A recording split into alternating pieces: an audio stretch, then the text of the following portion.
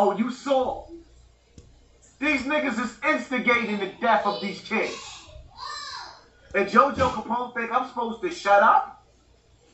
Chicago Drill have infiltrated, infiltrated the, the streets of New York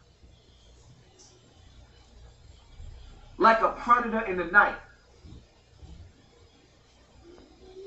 And just like FBG Duck, mother wasn't shit. Yeah, I said it. That fat sloppy walrus wasn't shit. After I got into the clubhouse and Wack 100 asked me to squash it with her, I squashed it with her. And then you get on, so you get you get on the phone and call JoJo Capone on me like I'm supposed to be scared, and then have another dude talking about he gonna drop a hundred thousand dollars on my death. Like what?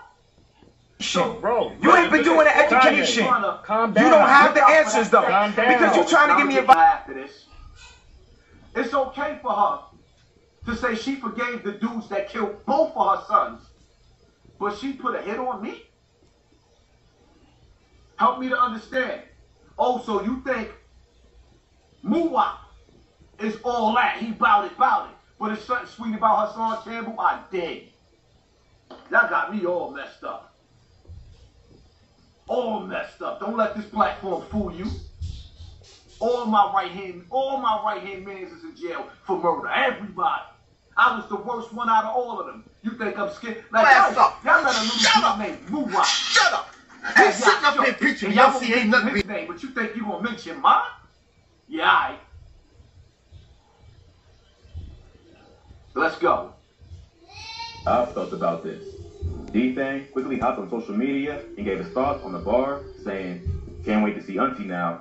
A few weeks later, another Rolling 80s member who was affiliated with K-Flock got murdered broad day.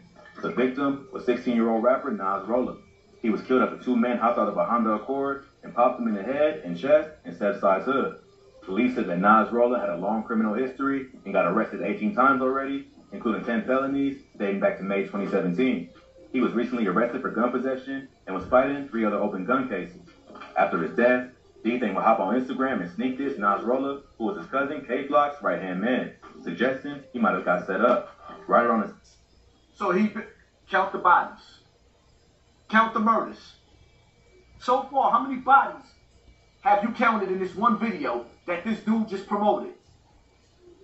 And then he telling you after the last body drop, D Thing jumps on the internet.